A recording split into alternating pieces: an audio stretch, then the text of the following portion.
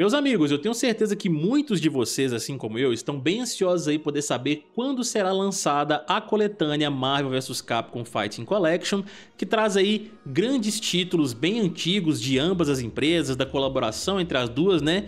Incluindo o próprio Marvel vs Capcom bastante famoso, e eles trarão novos recursos ali como rollback netcode, modo de treino e tal, do padrão, né, vamos dizer assim, das coletâneas que a Capcom já lançou pra gente há algum tempo. E um distribuidor recentemente parece ter vazado essa data de lançamento e nós vamos aproveitar para poder conversar sobre isso daqui e especular quando eles devem mostrar de maneira oficial essa data pra gente. Saudações dele, sou Caio Nobre e simbora para mais um videozinho aqui no canal. Se você curte os nossos conteúdos, já deixa aí seu likezão, se inscreve e ativa o sininho para ter notificação dos próximos vídeos. É uma regra do YouTube, se vocês não ativarem, vocês não recebem os nossos vídeos, estão ligados aí no esquema, acesse o nosso site cambiola.net e confiram um vídeo que publicamos recentemente, pessoal. Convido vocês a, sobre o Black Myth Wukong rodando no Playstation 5, algo que a gente já estava querendo ver há bastante tempo, visto que as reviews que saíram do jogo recentemente foram apenas no PC, então tá aqui embaixo o link para vocês darem, darem uma conferida lá com a gente, acessa lá e deem essa forcinha pra gente se vocês puderem. E acesse o nosso grupo de alertas também para não perder nenhum tipo de conteúdo aqui no canal, beleza pessoal? Então vamos que vamos, eu tô numa matéria aqui, com uma matéria na verdade, do Event Hub separada, onde eles trazem os detalhes sobre esse suposto vazamento e a data mais especificamente aqui que eu vou trazer para vocês. Ó.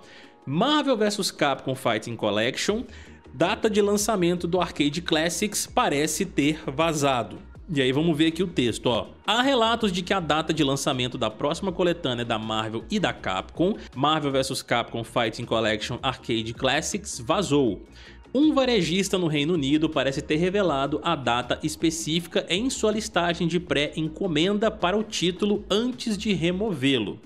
Se essa listagem for verdadeira, os fãs podem esperar obter o jogo em novembro. A gente vai ver a data específica daqui a pouquinho, tá? A janela de lançamento aqui, ó, parece estar tá bem próxima e ele já viu anunciado também pra gente, né, no trailer de anúncio oficial do Marvel vs Capcom Fighting Collection, que ele chegaria ainda esse ano. Só basta eles oficializarem mesmo a data específica, mas vamos lá que nós temos mais coisa que poder conferir nesse texto. Ó. Uh, o The Gamer, né, que eles traduziram ao pé da letra, relatou que o vazamento da data de lançamento veio de um varejista chamado Shop2, essa listagem ainda está ativa agora e mostra a versão do jogo para PlayStation 4, seu preço e informações de lançamento que, no momento em que esse artigo foi escrito, diziam data de lançamento a ser confirmada.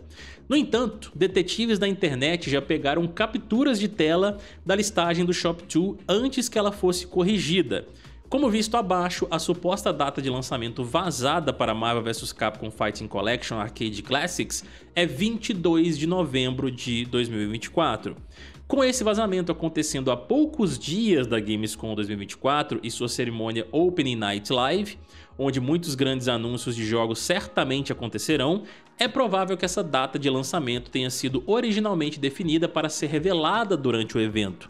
Você pode conferir a data abaixo no post do Wario aqui que eu vou abrir, né, é, separado para vocês. Mas vamos continuando aqui, só para poder finalizar o texto. A próxima compilação incluirá os seguintes sete títulos, né? Aí a gente tem todos os jogos aqui que já foram anunciados e o produtor de Street Fighter 6, Shuhei Matsumoto, ó, que também está trabalhando nesta compilação, disse recentemente em uma entrevista que a Capcom espera apresentar muitos novos jogadores a esses títulos clássicos de luta com a próxima compilação. Dependendo de como ele se sair e do interesse que ele gerar, poderemos eventualmente ver um novo jogo Marvel vs Capcom desenvolvido em algum momento, disseram os desenvolvedores.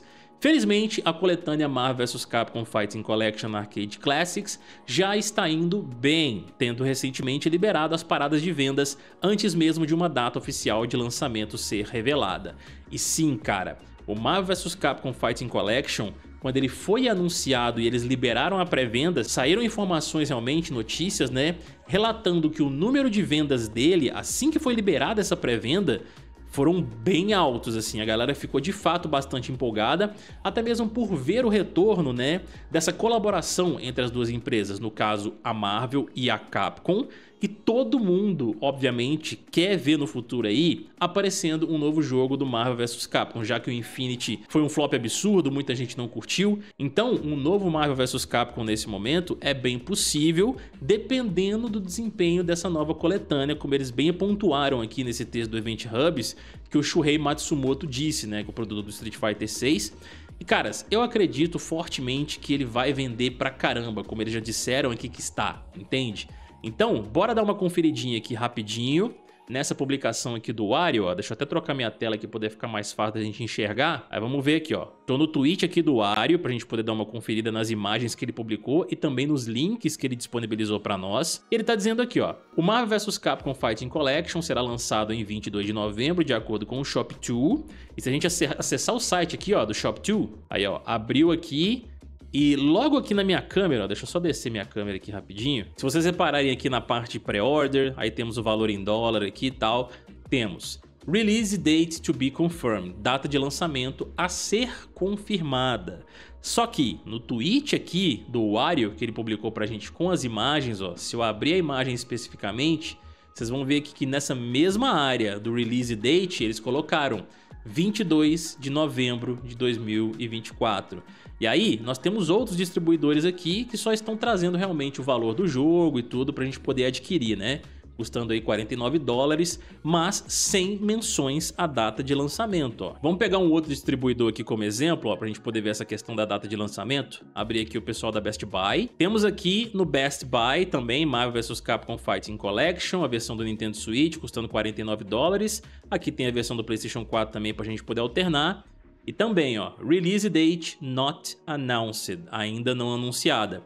E como a gente estava comentando, né, e o pessoal do Event Hub já citou ali também na sua notícia, nós temos agora na terça-feira o Open Night Live da Gamescom. E a Capcom, ela estará presente, né? Já disse lá que vai levar alguns títulos para o evento, vai ter demo de Street Fighter 6, vai ter coisa lá também do novo Monster Hunter.